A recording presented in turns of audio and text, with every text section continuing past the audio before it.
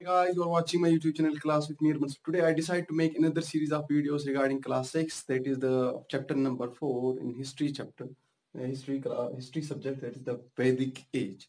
So Vedic age के बारे में आज हम पढ़ेंगे और इस इस चैप्टर में हम समझेंगे कि वैदिक एज जो है ये इम्पोर्टेंट क्यों मानी जाती थी इंडियन हिस्ट्री में और साथ साथ में जो वैदिक एज है कहाँ से स्टार्ट हुई थी so let us start so I have right on the board that is the Indus Valley civilization ended the next period मैंने यहाँ पे लिखा in the history of India is known as the Vedic age यानी कि Indus valley civilisation खत्म होने के बाद ही जो दूसरी एज यानी कि 1500 बीसी से जो नई एज जो स्टार्ट हुई थी ठीक है इवन हमारे पास बहुत सारे ऐसे सोर्सेस हैं जिससे हमें आ, पता चलता है कि 1900 बीसी में यानी कि 2600 से लेकर 1900 बीसी तक जो हमारे पास इंडस वैली सिविलाइजेशन जो है, आहिस्ता आहिस्ता वो खत्म होगी तो अराउंड 1500 बीसी तक ही वो खत्म हुई और 1500 के बाद जो नए, नया दौर जो स्टार्ट हुआ था इंडियन हिस्ट्री में, उसी दौर को हम वैदिक एज के नाम से जानते हैं। Even this period is very important in the history of India और ये पीरियड जो है वैदिक एज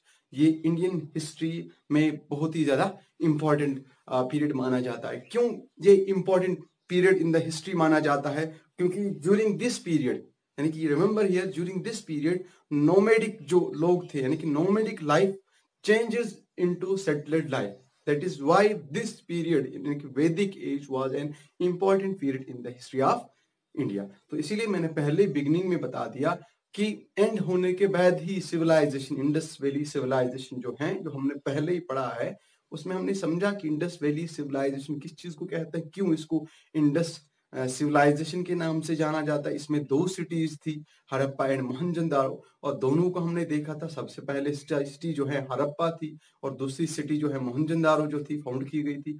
लेकिन उसमें हमने पढ़ा था सिविलाइजेशन जो है the word derive from the civitas which is the cities वो सारा हमने बिल्कुल पढ़ा है इंडस वैली सिविलाइजेशन के बारे में। सो so, जो आज का हमारा चैप्टर रहा है वो है द वैदिक एज। यही वैदिक एज जो है, ये after the end of the Indus valley civilization के बाद ही शुरू हुआ था। So as I have written on the board तो यही बात मैंने लिखी है as the end of Indus valley civilization तो उसके बाद ही मैंने लिखा the next period start in the history of India that is known as Vedic age. और वही पीरियड जो नेक्स्ट पीरियड स्टार्ट हुआ ना, उसी को वैदिक एज के नाम से जाना गया। Or remember here, I told that this period is known as the very important period in the history of India. It's a very important period. During this period, what happened? Nomadic life. You know what is meant by the nomadic life? Means sometimes those nomadies is known as the gypsies. The gypsies means those people who wandering nomad. Okay, so I will write there nomadic.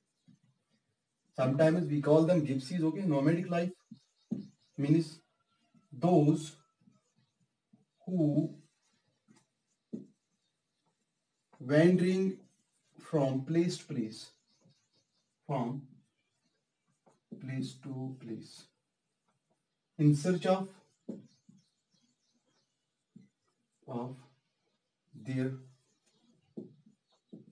livelihood.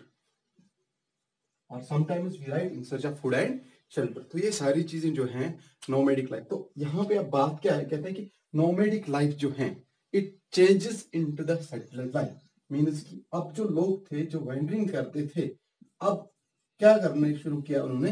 They start living settled life यानी कि fifteen hundred century में ही India में लोगों ने settled life शुरू की। अब कौन से वाले लोग? जो नोमेडिक लोग थे। यानी कि those people who were wandering ठीक है from one place to another place ठीक है? इन सर्च ऑफ़ फ़ूड भी हो सकता है इन सर्च ऑफ़ शेल्टर भी in search of lively better livelihood और उसमें वेंडरिंग करने में नोमेड में बहुत सारे tribals different parts of the world से भी आते थे। सो so, इसके बाद जब हम बात करते हैं कि ये मैंने बता दिया कैसे ये इंपॉर्टेंट रोल प्ले किया in Vedic age in the history of और साथ साथ में इतना ही नहीं कहते हैं देर वॉज़ अ प्रोग्रेस यानी कि ये वो टाइम था Vedic age there was also progress किस चीज़ में प्रोग्रेस था? इन द पॉलिटिकल यानी कि हम देखते हैं political social and religious life यानी कि there was also progress in the political social and religious life किसमें वैदिक एज में. यानी कि ये वो टाइम था जिसमें पोलिटिकली सोशली रिलीजियसली यानी कि हम देखते हैं जो सिस्टम है जो हमारी लाइफ है वो पूरी तरह से चेंज हो गई. सो so, ये पूरी तरह से हमें समझना पड़ेगा इसको हमें पूरी तरह से याद रखना पड़ेगा कि कैसे हम कह सकते हैं कि this period is very important period in the history of